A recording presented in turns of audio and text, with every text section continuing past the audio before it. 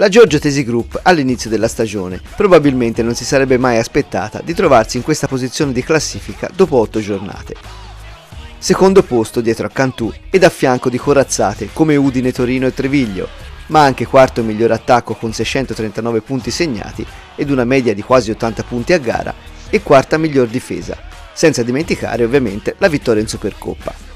I punti di forza fino ad oggi. Sono stati proprio la difesa ed una precisa identità di gruppo che coach Nicola Brienza ha saputo dare alla squadra in pochi mesi. Vero che i biancorossi non catturano molti rimbalzi e questo è un aspetto sul quale la squadra dovrà lavorare, soprattutto con i due lunghi Magro e Del Chiaro, ma è anche vero che è il miglior difensore dell'intero campionato, quel Carlo Idol che è primo nella classifica di Lega dei rimbalzi difensivi catturati, ben 7-6 a partita, quarto in quella dei rimbalzi totali e ancora primo in quella della media delle palle recuperate, quasi due a gara, 15 in totale.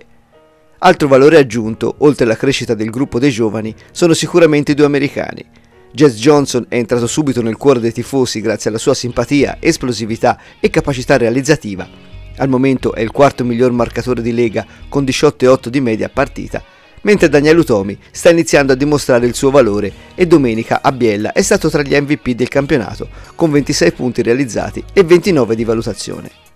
La squadra questa settimana ha avuto due giorni di riposo dal proprio coach, visto che domenica è costretta a riposare per l'impegno di Widel e Risma con le rispettive nazionali e non potrà disputare la gara casalinga contro Capo d'Orlando, rinviata a mercoledì 22 dicembre. Da lunedì prossimo però si torna a fare sul serio, visto che il futuro impegno si chiama Reale Mutua Torino, ulteriore ed importante banco di prova per testare la vera forza di un gruppo che continua a stupire.